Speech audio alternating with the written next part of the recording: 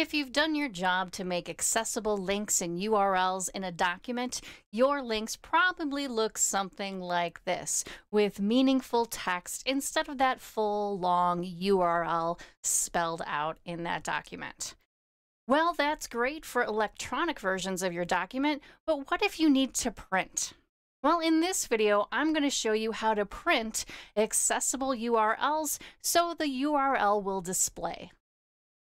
If you need to print a document that contains accessible links like this one right here, what you need to do is go up to your File menu, all the way down to Options, and choose the option Advanced.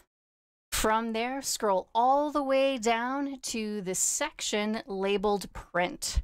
From there, you should see the option print field codes instead of their values. Just take your mouse and check that on and click OK.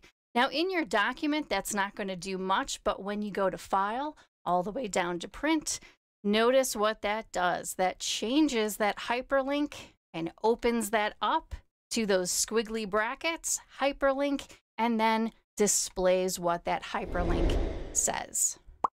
And that is how you can print accessible links in Microsoft Word.